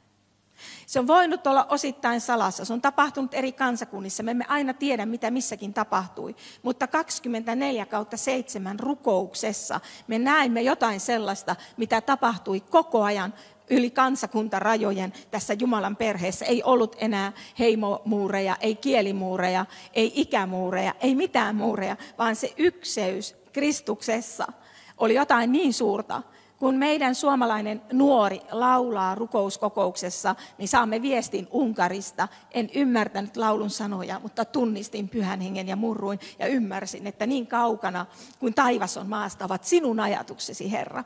Ja hän lauloi tämä nuori tyttö siitä, siitä psalmista. Siis jotain niin ihmeellistä on pyhän hengen työ meidän ajassamme. Samaan aikaan, kun me saimme rakentaa kotiseurakuntaan tuonne, en tiedä tiedättekö te täällä tätä Kainuun perukkaa, murteeni paljastaa varmasti, niin Sotkamossa rakensimme lehtimajan. Eikö aika ihanaa? Mitä se isä ajattelee taivaasta? Se katsoo Jerusalemin lehtimajajulia ja sitten katsoo sinne Kainuun pieneen Sotkamoon. Ja sielläkin on lehtimajassa ihmisiä kiittämässä samaa Jumalaa. Ja kun meillä oli siellä myös laulaja mukana, joka astui palvelemaan Jumalaa, niin Jani kertoo Iiseen sisä, sisäisestä sätistä, tulee ensimmäinen viesti Etelä-Koreasta. Että me emme ymmärrä sanoja, että me vaan itkemme. Pyhä henki murtaa, yhdistää. Toinen viesti tuli Tsekkoslovakiasta. Että tuo ei ole enää mitään laulua, tuo on palvontaa. Me tunnistamme, tuossa palvotaan Jumala ja me yhdymme täällä. Ja näin me koimme eri kansakunnat, miten Jumala sulattaa, niin kuin sanotaan, Jerusalemi on kansakuntien sulatusuuni. Hän sulattaa meitä yhdeksi ja hän on valmistamassa jotain. Oikeastaan voisin vielä sanoa, että se minun vaiheeni Iisein työhön ei ollut vain se, että nuorena sain sen sanoman, jota en ymmärtänyt, vaan se jatkui. Seuraava merkittävä vaihe oli uni, jonka kautta Jumala puhui. Mä näin unen Suomen kartasta. Ja sen al, se vanha tämmöinen koulukartta ja se rullattiin tällä tavalla rullalle ja sen alta löytyykin Israelin lippu. Ja sitten siihen tuli työsopimus siihen uneen, siihen kaiken päälle. Ja siihen tuli miehen käte, käsi, joka allekirjoitti minun työsopimusta Juha Ketola. Että Herra kertoi tämän, minulle tämän tulevan työpaikkani aikaisemmin, kun siellä olin. Ja muitakin tällaisia asioita on tapahtunut.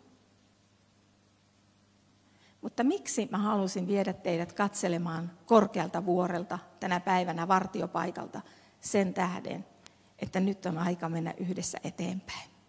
Jumalalla on jotain tällä hetkellä sellaista menossa, että meidän täytyy nähdä hengen silmillä tähystää myös eteenpäin. Me olemme saaneet vahvan perustan, me olemme saaneet valtavan siunauksen. Ja nämä ihmiset, jotka ovat olleet ennen meitä tässä työssä mukana, he ovat edelleen tässä työssä mukana ja he edelleen tukevat ja he työntävät meitä ja sitten vielä nuorempia, niin kuin Jani ja sitä nuorempia, koska nyt on aika antaa vauhtia tälle työlle. Ja olen sanonutkin sen, että, että ei se vaan ole, että lopuaikana kaikki menee niin kuin nopeasti ja rutosti ja vihollinen vaan niin kuin tekee. Tiedätkö, Jumala on vielä nopeampi. Jumala on vielä nopeampi. Ja hän tekee nopeita rukousvastauksia kuin Jumalan kansa haluaa yhteistä sydämestä hänen nimessään, koroittain häntä, pyytää anoja etsiä.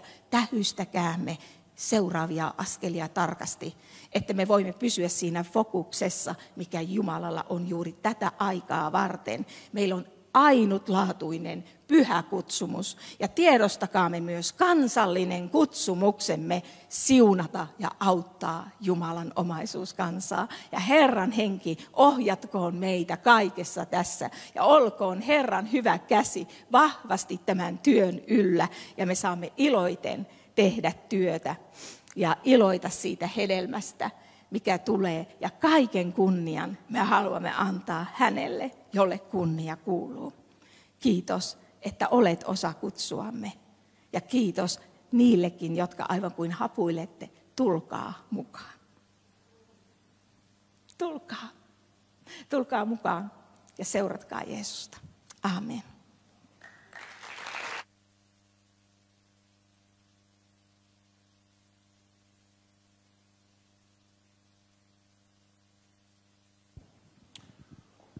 Aamen. Mitä noiden kahden puheenvuoron jälkeen hän sanoisi? Rippeet jää.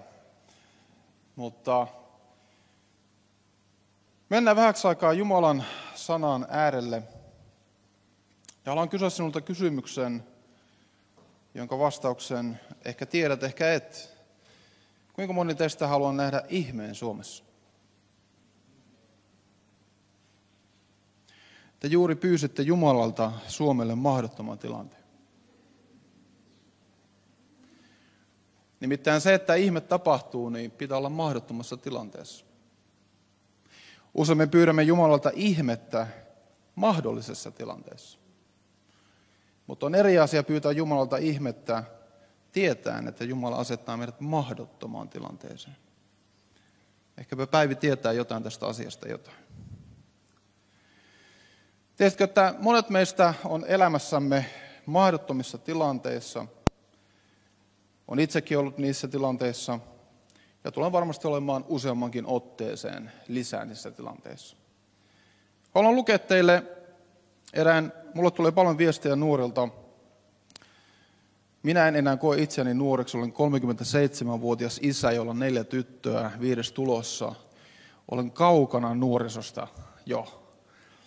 Olin eilen täällä nuoriso, nuorten kokouksessa ja koin itseäni papparaiseksi käytännössä. Jorin kanssa me jotenkin siinä rymisteltiin eessä. Yritettiin pysyä perässä. Luen teille viesti, joka tuli minulle viime viikolla. Olen epäonnistunut elämässäni. Olen rikkonut Jumalaa vastaan niin paljon, että en tiedä, onko minulla paluuta Jumalan luo. Puhuit, että Jumalan uskollinen ja se vankkumaton Jumalan uskollisuus kansansa kohtaan – on antanut mulle pienen toimon rippeen omalla tielläni. Ehkä jaksan kammeta aviottoman lapseni kanssa tielle, joka kohtaa Jumalan luokse. Terveisin 16-vuotias tyttö Vantaalta. Hän on elämässänsä mahdottomassa tilanteessa. Hän näkee mahdottomuuden vaan.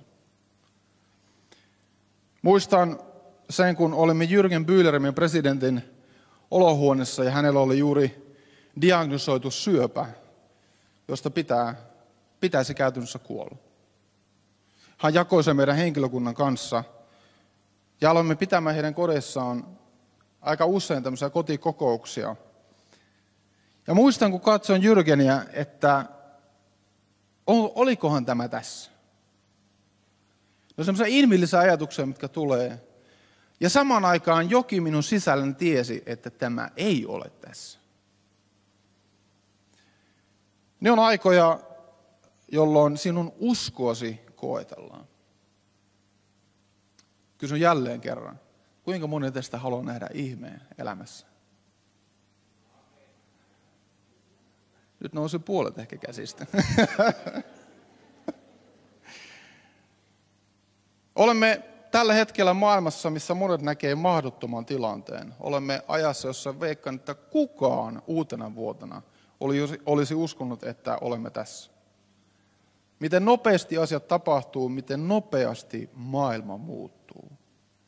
Se ehkä lohduttaa tässä tämän päivän aikana, olemme, olemme saaneet kuulla julistusta ja opetusta siitä, että Jumalan sanan arvovalta on meidän keskiössä.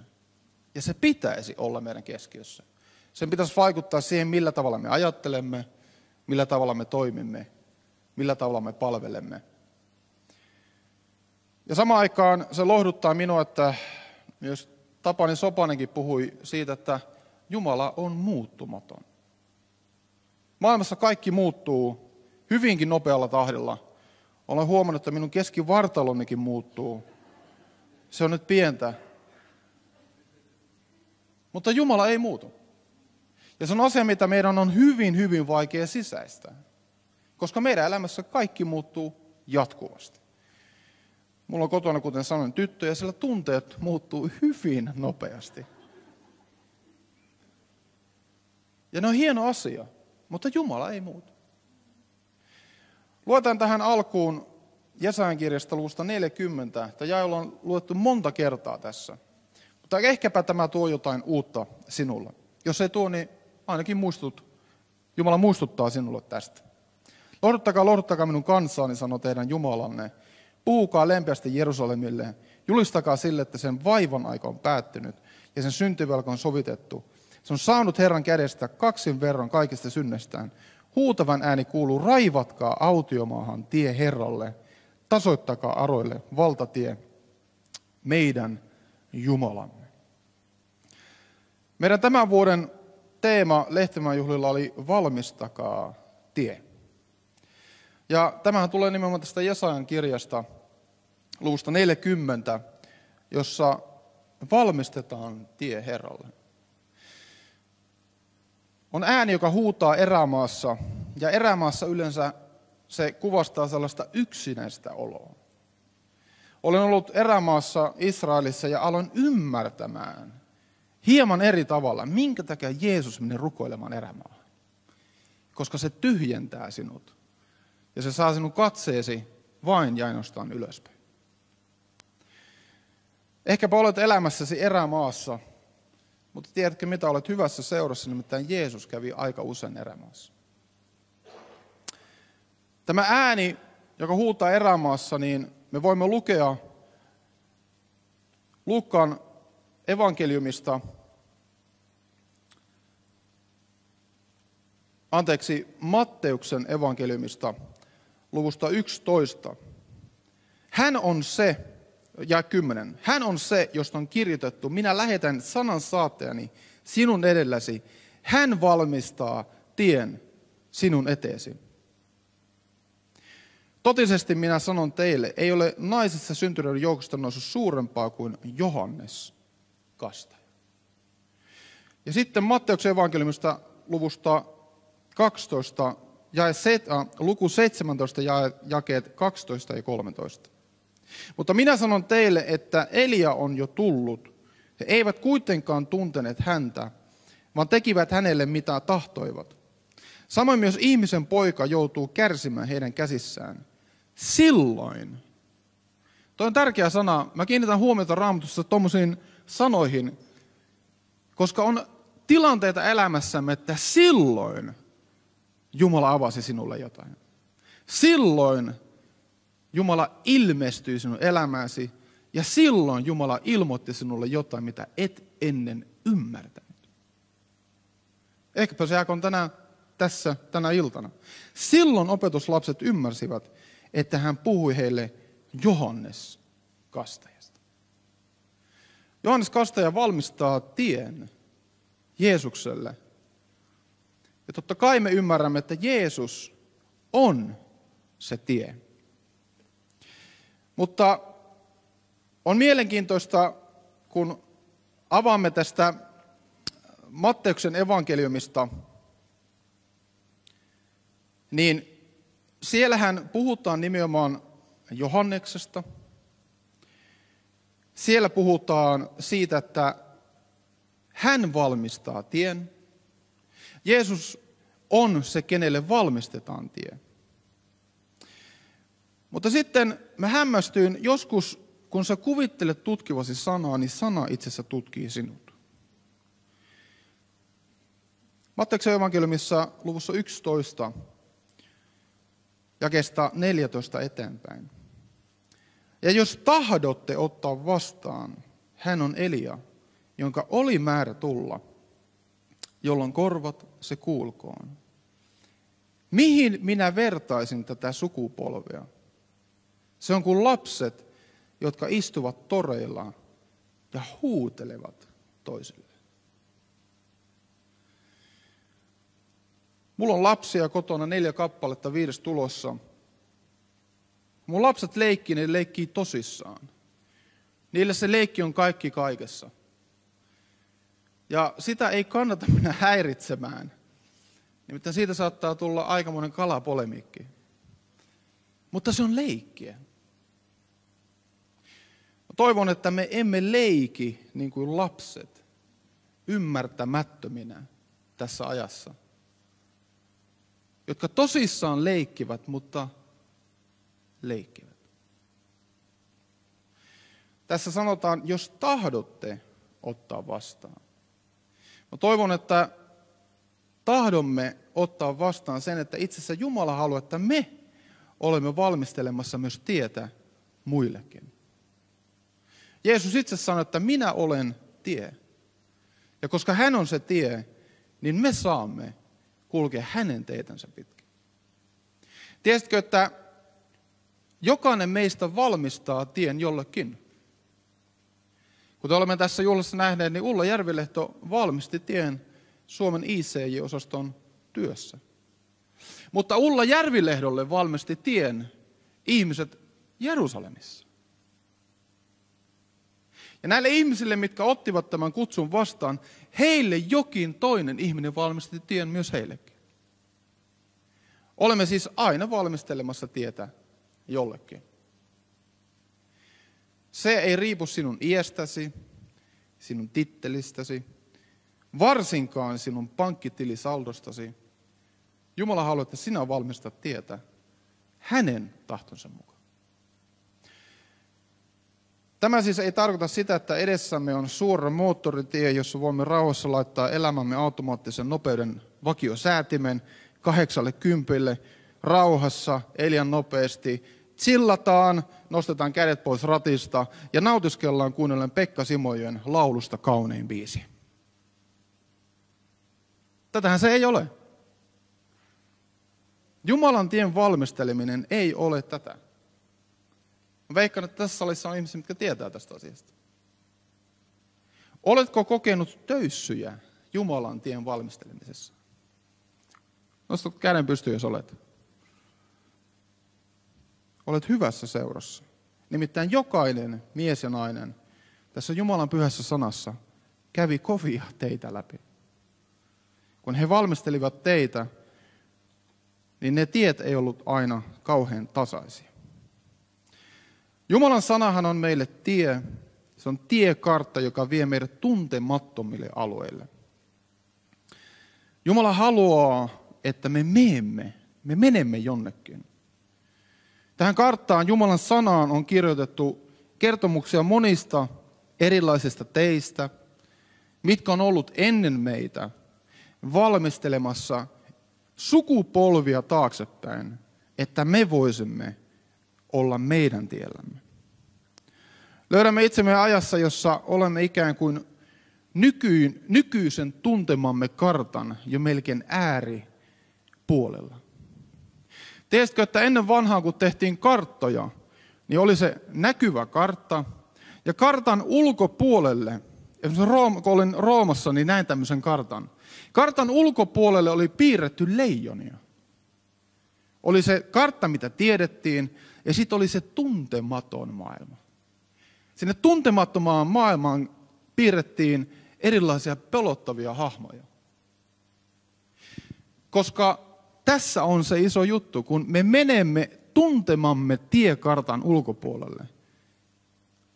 Helposti alamme näkemään leijonia, lohikäärmeitä ja kaikkea sitä, mitä meidän mielikuvitus alkaa hyrräämään ja kovaa. Tämä muistuttaa mua kansasta, joka vaelsi tuntemattomia teitä pitkin. Oli suuret vesimassat edessä. Kansa, jonka koko oli noin kolme miljoonaa ihmistä. Kyseessä on Israelin kansa. Jumala sanoi heille, että menkää toiselle puolelle. Ei ollut mitään tiekarttaa. Ei ollut mitään valmista tietä. Uskossa Mooses nostaa sauvansa ja tie valmistetaan heille. Vetten halki. Se ei ole ihan sitä semmoista tiekarttaa, mitä sä omissa ajatuksissasi, omilla kyvyilläsi jotenkin alat piirtämään. Mä oon huomannut mun lyhyen elämän aikana, että silloin kun me annamme elämämme Jumalan käyttöön, niin hänen tiekarttansa on hyvin erilainen kuin se, minkä minä olin suunnitellut itselleni. Israelin kansa on tästä erittäin hieno esimerkki.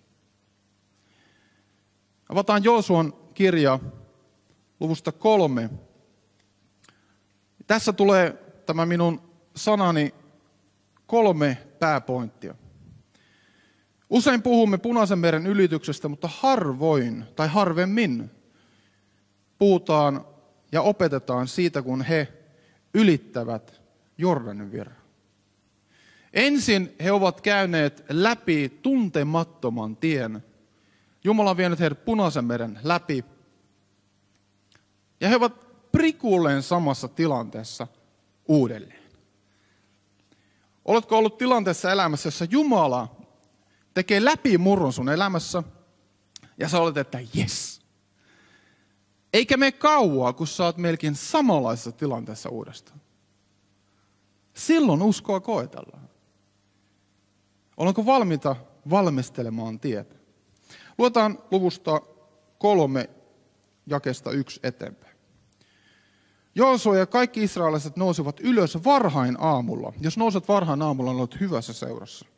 Itselläni on hieman opettelemista tässä, mutta minun tyttären pitävät siitä huolta.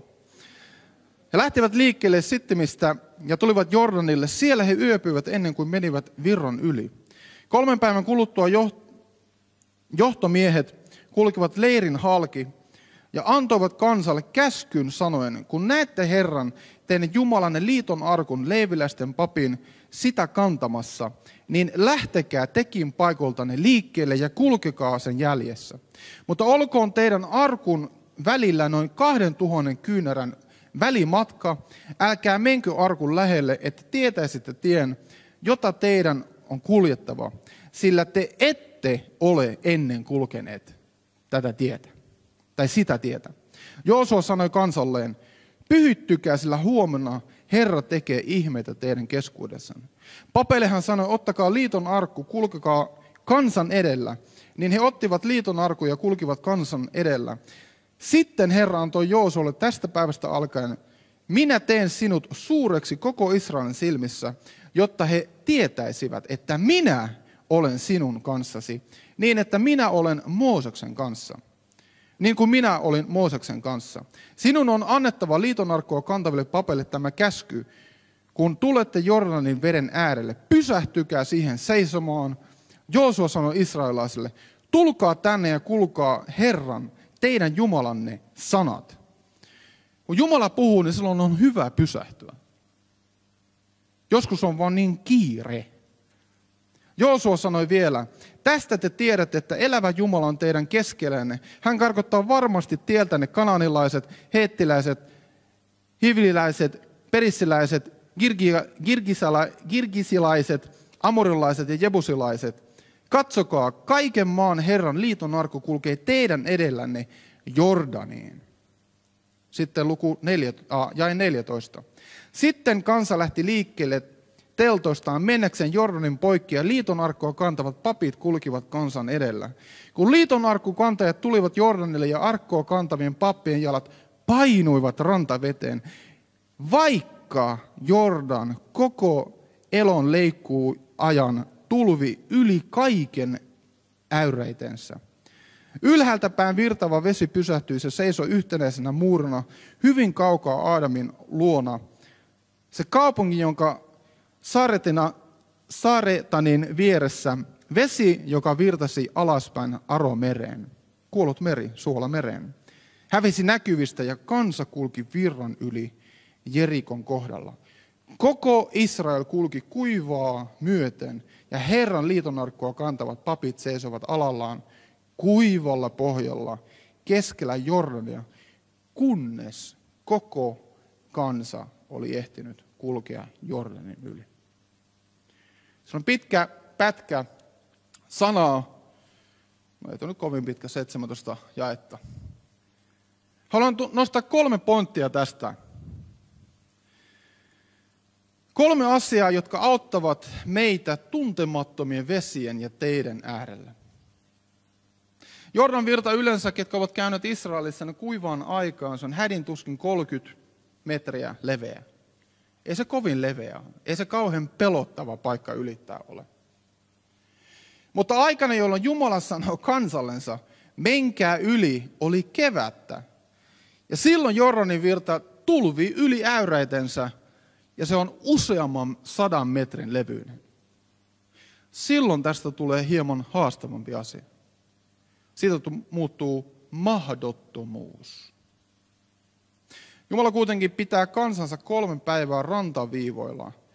Ihan niin kuin hän haluaisi korostaa, että nyt, katsokaa, ton yli minä vien teidät. Jumala joskus pysäyttää meidät mahdottoman eteen vähäksi aikaa, jotta hän haluaa korostaa, muista, ton yli minä vien sinut. Pointti numero yksi. Takanamme on aina Jumalan huolenpito. Kun me katsomme taaksepäin, on aina hienoa muistaa, miten Jumala on pitänyt meistä huolta. Tänään me olemme tässä muistelleet, miten Jumala on pitänyt ICEin työstä huolta.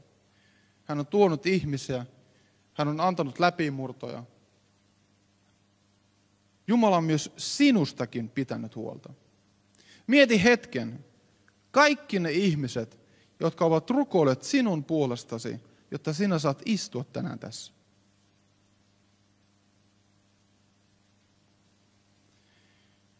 Kun me muistelemme Jumalan huolenpitoa, niin me alleviivaamme ja erotamme Jumalan käden meidän historiassa. Se on erittäin tärkeää, että me alleviivaamme se, minkä Jumala on tehnyt meidän elämässämme. Se, mitä sinulla ja minulla on tapahtunut menneisyydessä, uskon, että siellä on paljon asioita, jotka rohkaisee meidän tulevia koettelemuksia varten. 40 vuoden ajan ICIn työ on saanut tuoda yli 150 000 juutalaista takaisin kotiin. Ei se ole kuin Lahden verran juutalaisia. Se on hurja määrä. Se on yhtä kuin 416 Boeing 747 täynnä juutalaisia. Se on pöyristyttävä määrä Ja veikkaan, että kukaan ICJ-ihminen, joka astui tähän kutsuun, edes kuvitellut, että Jumala tekisi tällaista. Hän on auttanut meitä auttamaan, hoitamaan kymmeniä tuhansia juutalaisia, arabeja. Tälläkin hetkellä saamme olla lohduttamassa kansaa erittäin vaikeiden aikojen läpi. On tärkeää muistaa Jumalan huolenpidosta.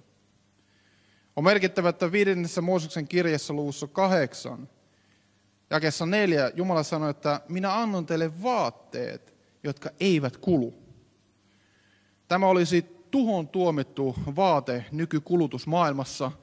Nimittäin 40 vuoteen voisi pitää prikullen samat vaatteet ja ne näyttäisivät kuin uutena myöskin 40 vuoden päästä. Siinä Jumalan huolenpito. Miettikää. Hän antaa aina asioita, mitkä eivät kulu. Jumalan huolenpito ei kulu. Me kulumme. Hänen voimansa ei kulu. Meidän ajatus hänen voimastansa kuluu. Israelin kansalla ei ollut kauppoja, ei ravintoloita, pelkkä Jumalan huolenpito. Mä tykkään statistiikasta, vaikka olen kaikkea muuta kuin matemaattinen ihminen. En tiedä, mistä näin on. Tykkään tutkia, mitä tämä tarkoitti ruokahuollossa israelilaisille. Kolme miljoonaa ihmistä liikkuu paikasta toiseen 40 vuoden ajan. Oletko koskaan miettinyt, mitä tämä tarkoittaa ruuassa? Monet tutkijat sanoo, ja ovat laskeneetkin, se tarkoittaa 1500 tonnia ruokaa päivässä. Jos otamme yhden rekan, joka on 13 metriä pitkä, jonka kantokyky on 24 000 kiloa, se on 62 rekallista ruokaa päivässä. Jumala ei tuonut rekkoja, Jumala antoi sen suoraan taivaasta. No miten sitten kuitenkin, okei, okay, ruoka. Miten tämä vesi? Puhutaan autojen maasta. Jumala antoi heille senkin. Kolmen miljoonan ihmisen huolenpito päivässä on 41 miljoonaa litraa vettä päivässä. Jos otamme samanlaisen rekan piripintaan vaunussa, niin se on 400 rekkakuormallista autoa vettä päivässä. Tämän takia Jumala sanoi heille, että muistakaa, mitä minä olen tehnyt teille, kun olette tässä kohta ylittämässä Jordanin virta. Se antaa teille rohkeuden astua, niin kuin tässä sanotaan, jakessa 16, ei 15.